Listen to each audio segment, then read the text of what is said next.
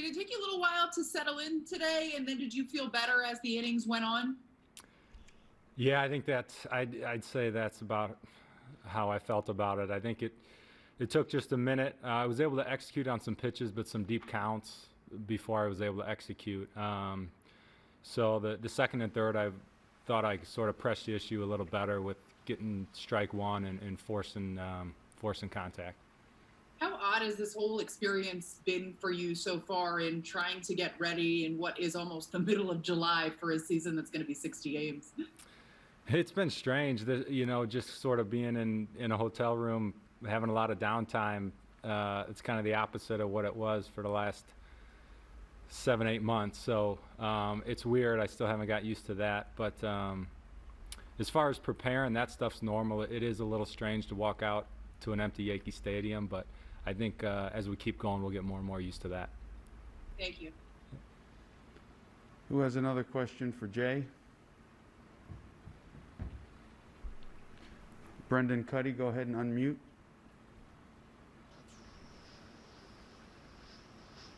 Hey, Jay, thanks for taking the time. Can you hear me? I might be frozen. I got you. Yep. Okay, good. Uh, just, can I ask you your reaction to hearing about Aroldis's positive coronavirus test and if that makes you any more concerned about continuing this season?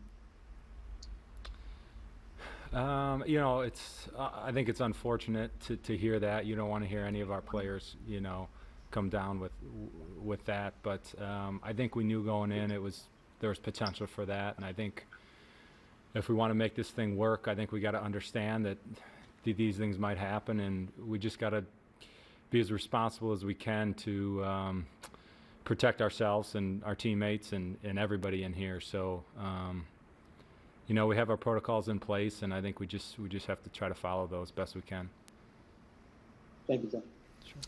All right, so Jay Happ today uh, pitching. I think he threw some somewhere in the neighborhood of 60 pitches. Let's take a look. 51 pitches, so potentially next time out 60, 65, and as Michael Kay kind of alluded to, maybe you get him in that 80 to 90 range. Right, and I thought that today we saw who Jay Happ is. You see the numbers right there. He ends up with the four strikeouts as Meredith asked him at the outset of her conversation.